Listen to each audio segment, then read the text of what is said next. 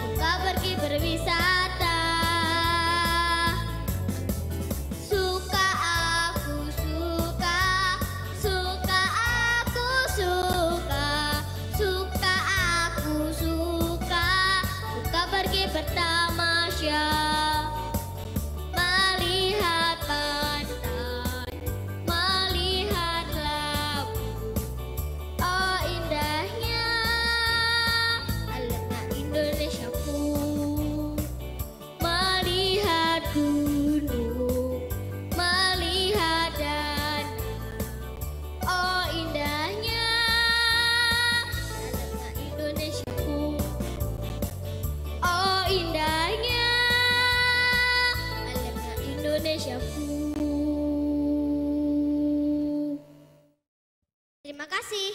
Ya, itulah penampilan